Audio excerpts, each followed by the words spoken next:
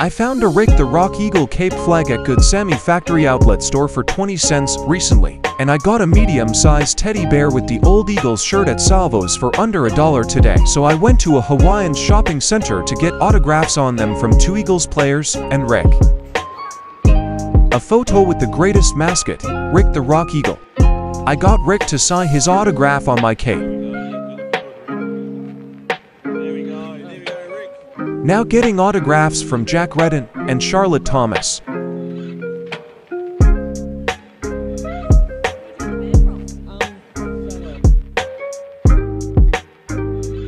One last autograph from Rick for my teddy.